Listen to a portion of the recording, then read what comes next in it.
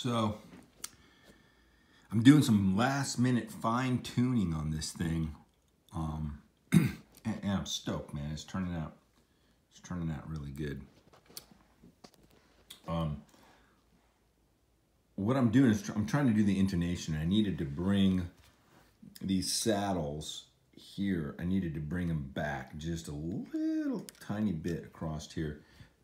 If you remember, look at it. It's fucking sick. Like, oh, it looks normal, kind of, almost. wow, wow. Um, so remember what I did was first in order to space the five strings evenly, there's the cut I made right there. So the five strings are spaced evenly on a little bit smaller neck.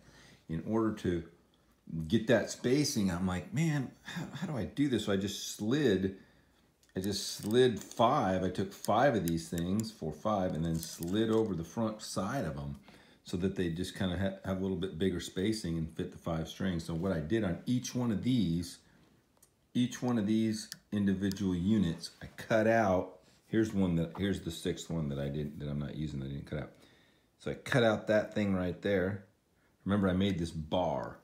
So this bar comes across the top and these studs aren't gonna move and they screw down. They used to go right in here in every sixth one, but now they're kind of, you know, spaced in between. So in order to slide these around, I cut in order to fit that bar, that, that, uh, that little bar in here, I cut this thing off right there, bam, bam. So this was flat.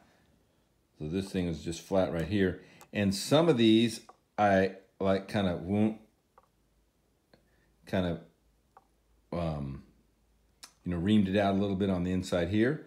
Other ones I had to cut off this stud here depending on which way they move. So it's like these first two, like this one, I just moved over a little bit this way. So I had to ream out the inside a little bit, move over. Same with this one, this one. On this one here, I had to cut that whole thing off because it's now you can see where that stud is. It's starting to slide over. This one, I kept this side, but had to cut off this side over here because that stud's coming right on. Same with this one. I was able to keep this side here, bam, but I had to cut this whole side off. Just cut it off right there, right across there.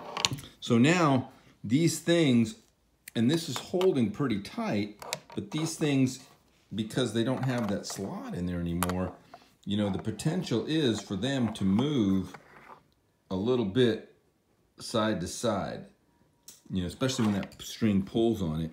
So what I'm going to do is I'm to, I just figured it out. Uh, first of all, I'm gonna. I, my my Floyd Rose didn't come with these, so I just went out and got those at the hardwood store, and that that puts tension back, so you can you know pull, pull and pull get tension back um, as the strings pull in the opposite way. That comes against a little stud that's down inside there. Um, and then the next thing I think what I'm gonna do, I just figured it out just now.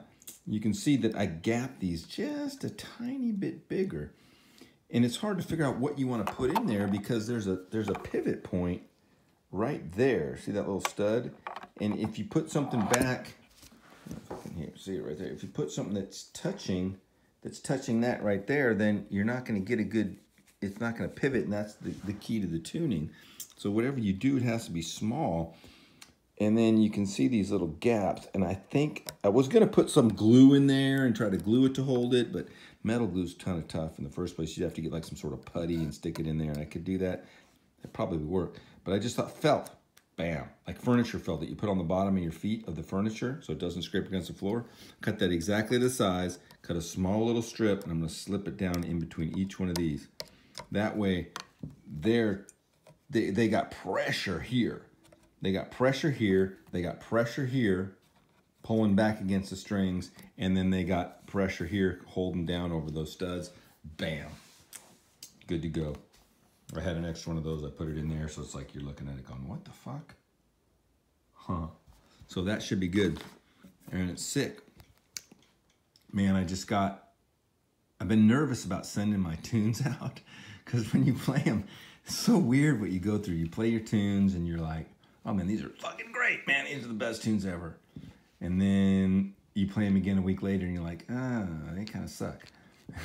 like, oh yeah, maybe I'm not that fucking good. And then you play them again later, and then you play them for somebody, and they're like, ah, yeah, I don't know, yeah, man, I like fucking the other kind of, and you're like, God, damn, they really suck. And then you play them for somebody, they're like, dude, those are fucking great. And then you're like, yeah, you're right, they're great, I am great. It's such a trip. It's such a fucking trip, man, what you go through when you're writing songs, and and I don't know how to get around it. But anyway, man, the guys that I'm trying to find for my band are really fucking good. I mean, I got a lot of fucking weaknesses, and I got to get guys that can cover that shit up, man. I got to find some bad motherfuckers. That's how I look at it, you know. And and all I got to do is find. There's a fucking billion players out there, so you got to find somebody that that feels what you're trying to do, and then they're gonna be like, yeah, well, he's a little weak in this and this and this, but that's cool because he's really strong over here and here and here. Um, so that's that's what my thought process is. Um, and I found a couple dudes, fucking Felix, the Cat Pollard, and I think it's Seku um, something playing bass. Just a guy got introduced to me, man. He was like today, hey dude, send me what you got. And I'm like, uh, he's like, send it to him. I'm trying to send it to him.